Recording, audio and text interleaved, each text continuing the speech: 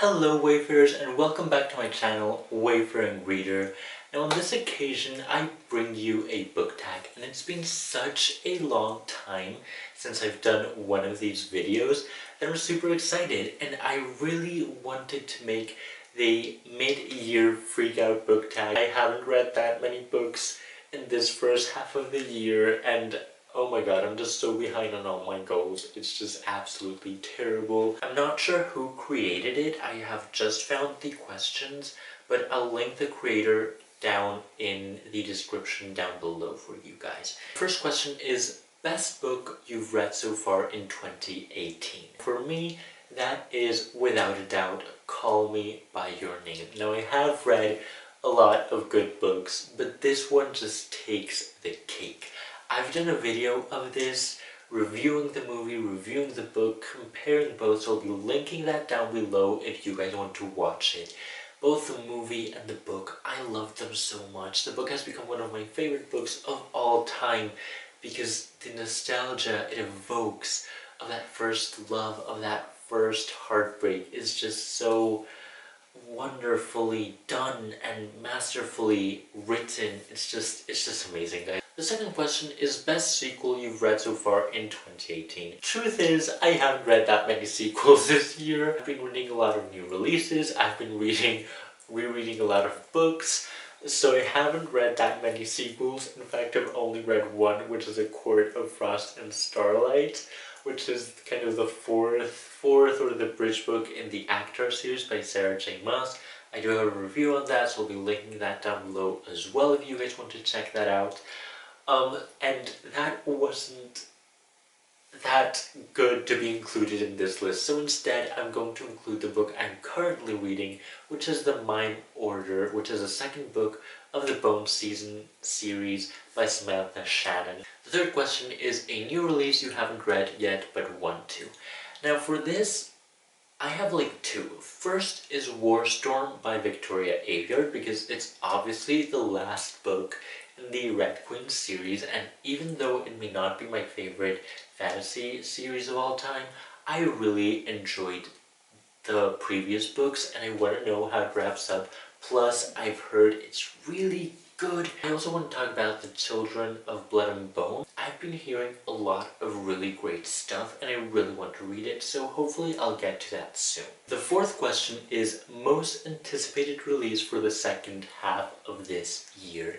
And I have multiple. I can't just choose one. I'm sorry. Because we've got, first of all, Kingdom of Ash, the last book in the Throne of Glass series. It's going to kill me. It's going to kill all of us because we've been waiting seven freaking years for this book and it's going to hurt and it's going to be painful it's going to be wonderful. I'm gonna cry my eyeballs out because it's going to be the last book in the Throne of Glass series and I can't even handle it. But at the same time, it's just like, I need it right now. Please, Sarah J. It better be like 900 pages long because, oh my god, please. Second, Queen of Air and Darkness, because come on, it's basically the same thing. The last book in the Dark Artifices series by Cassandra Clare.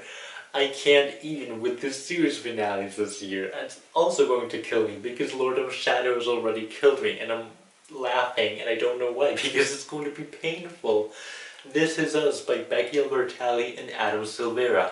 Now with this one, I don't really know if it's going to be painful or not because Becky Albertalli on one hand has like really cutesy, romance, feel-good, fluffy novels, and then we've got Adam Silvera, who I love, but he creates sobbing sob vests. Sobbing sob vests, very eloquent, Alfredo, bravo. That you just tear your eyes out because they're painful and they're at the same time wonderful, but they're still super painful to read. So I don't know how that's going to turn out.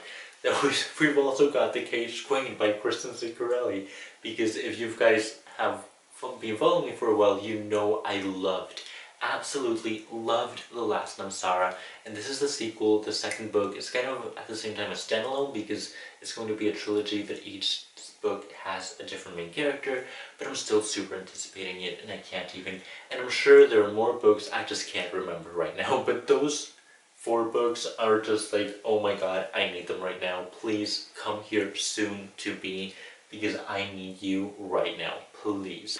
The fifth book was Biggest Disappointment. I could talk about two books here. First of all, ACOFAS because it was very disappointing but since I've talked about that in the review I'm not going to talk about it so I'm going to talk about Renegades. I have talked about this briefly in another tag. I expected a lot more. Marissa Meyer is one of my go-to authors. I love the Lunar Chronicles, one of my favorite series of all time. And Renegades just didn't do it for me. The characters were okay. The plot was okay, but I wasn't that invested. The sixth question is the biggest surprise. Now for me, this is the Bone Season by Samantha Shannon because I bought it because it was on sale on Amazon and I was like, okay, I've heard people talk about this. Some have been pretty good reviews. So far I've only seen good reviews. It can't hurt to read it, to give it a go. And oh my god, it was so good. It was just I don't want to say anything because I'm going to review it, but just know it's this kind of fantasy, dystopian book series that takes place in, an, in kind of an alternative London where clairvoyance is outlawed and clairvoyants are persecuted and it's very good. It's so good. Like, you guys can't even imagine it. Just go and read it. Believe me, you won't regret it. The seventh question is favorite new author. And here I have to go with Samantha Shannon for all the reasons I've talked about before. The eighth question is newest fictional crush. And I really have to check my list here because since I haven't read that many books, I don't think I have a lot of new fictional crushes, honestly. I don't really have a newest fictional crush this year. I'm just gonna leave that one blank. The next question is newest favorite character. And for this, I have to go with Paige Mahoney from the Bone Season, and I'm sorry, I'm being very annoying with the Bone Season, but it's just so good, guys. You have to read it. Paige Mahoney is a badass. She just didn't take no shit from anyone, and she just serves mm, what everyone deserves, left-handed and right-handed, and she does not care what people think. And even if she has to wait and be patient to act, she is planning just every single thing in her mind. So she is just kick-ass and I love her so much. The 10th question is book that made you cry. And I've also talked about this book already, but honestly, it was just a sob fest, and that was Call Me By Your Name, because that book was nostalgia in book form. I was going to say in person, no, in book form, in the pages, crying, sobbing. The next question is a book that made you happy. And for this, I have to go with a reread, and that was Simon versus the Homo Sapiens Agenda. That book just makes me grin. I cry from happiness each time I watch the movie in different scenes because I pick up on different things every time, and the book is just so wonderful. The next question is favorite book adaptation you've seen this year? And obviously, Love Simon. I've just said this. I could go with Call Me By Your Name, but I'm sorry. Love Simon Takes the Cake. It glorious. It was good. It was just fantastic. I can't even with that movie. I want to watch it again. The next question is favorite review you've written this year. I do feel very, very proud of my Call Me By Your Name review on Goodreads. If you want to check it out, I think that was just really neat how it ended up. And I don't know, I'm, I'm pretty proud of that review. The next question is most beautiful book you've bought this year so far. And I have to think because I have lost track of the books I've bought this year. It's a tie between Cloaked in Shadow by Ben Alderson um, and Leah on the Offbeat by Becky Albertalli. And then the last question is what books do you need to read before the end of the year? And this is just all the books on my TBR for starters. But honestly, on the top of my list, I would have to say Strange the Dreamer because the paperback UK edition in like the small format came out, so it's matching with my Daughter of Smoke and Bone books, and I have that, I have to read that. War Storm, I have to read all the new releases that haven't come out yet that um, I also have to read Children of Blood and Bone, I talked about this. So yeah, just an endless list. So yeah, that's all for this video today. I hope you enjoyed it, guys. Let me know down below what your favorite books are so far that you've read this year.